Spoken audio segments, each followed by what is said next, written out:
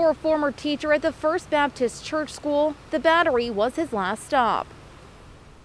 On the night of August 19, 2006, police with the city of Charleston responded to the area of 76 Murray Boulevard in reference to a vehicle blocking traffic and possible gunshots. Officers arrived on scene and located Clifton Harris Jr., slumped over in the driver's seat, shot to death. Harris, a respected history teacher at First Baptist Church School, was known to frequent the battery during the nighttime hours, a place notorious for those who felt unable to be themselves in the open. There was a stigma on LGBTQ folks and people who identify as LGBTQ in 2006, and to some extent that still exists.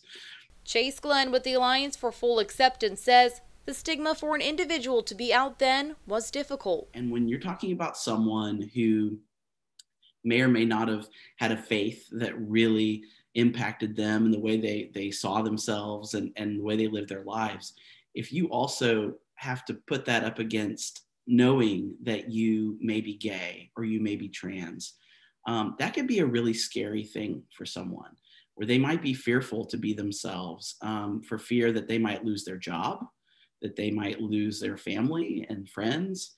Um, and having that sort of weight can really impact someone. While some stigmas remain, many of those who identify as LGBTQ have found places of acceptance in the community. In 2006, things were different. You know, this was before marriage equality.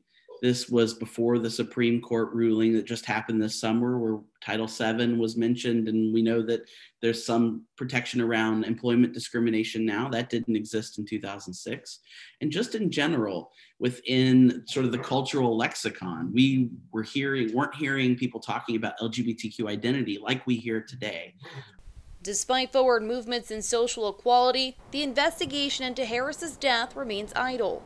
Investigators are asking those who may have been at the battery in August of 2006 to come forward with any bit of information. And I would hope that if someone felt safe in being able to report that information, that they would come forward and that um, as much as would be possible, their identity could be protected. If you have any information that could help police in this case, call Crime Stoppers at 554 1111. In downtown Charleston, I'm Kate Prestak. Count on two.